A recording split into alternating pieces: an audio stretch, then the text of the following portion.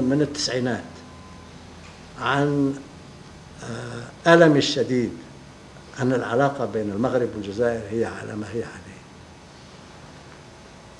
لا لا يوجد مبرر أن العلاقة بين الجزائر والمغرب تكون على ما هي عليه. وهذه العلاقة هي معطلة بناء المغرب العربي. المغرب العربي ملوش وجود إطلاقا. يعني في مكتب في المغرب أخ تونسي يعني قاعد هناك ومعه حوالي عشرة أشخاص آه، يعني لازم حناش يعرف هذا أحسن مني.